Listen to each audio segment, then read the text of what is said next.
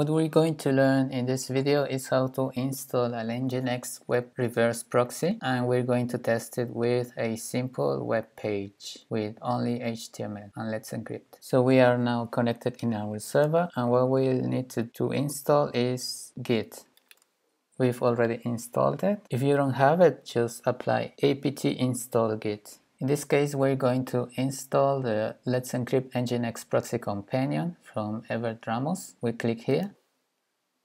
And this is the code, the, the documentation. So we need to organize our folders. We go to var folder Let's make this directory, www directory, make a docker directory, and then the nginx proxy directory. Since we're going to test with a web page as well, let's make this directory. And let's install this application tree so we can see what we've got so far here. This is the directory. So let's go to the nginx proxy directory and now let's clone this project which is git clone the repo space and dot. This is to specify that the repository should be copied where we are exactly located without the need to create another folder. So it's important this dot. Now let's see what we got.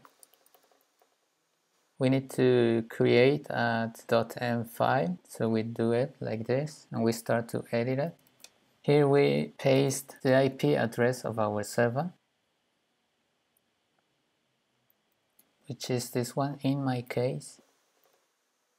And then for security reasons let's enable the nginx config files here by uncommenting this line.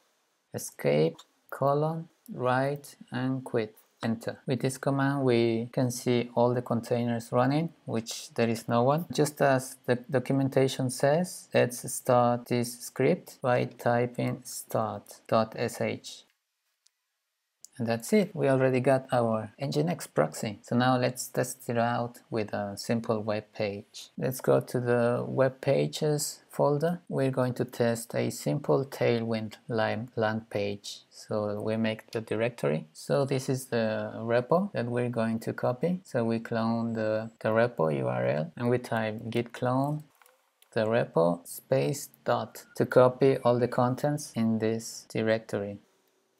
As always, let's create a environment file.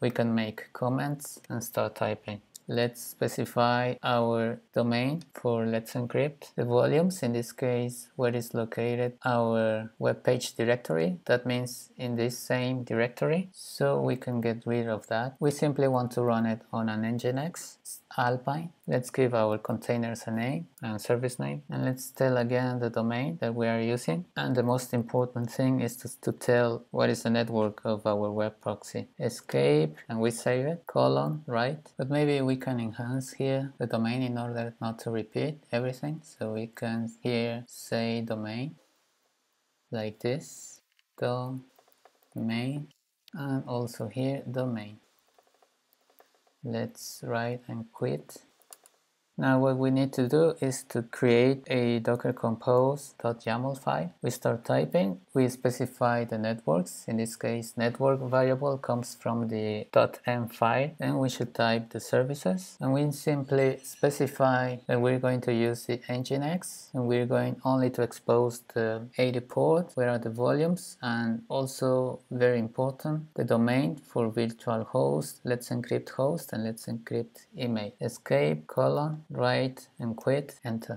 in order to run our web page, we simply type docker compose up hyphen d. Now let's browse our simple web page. In this case, this is my domain, tw-land page. And yes, you can see we already got a web page with HTTPS of Let's Encrypt.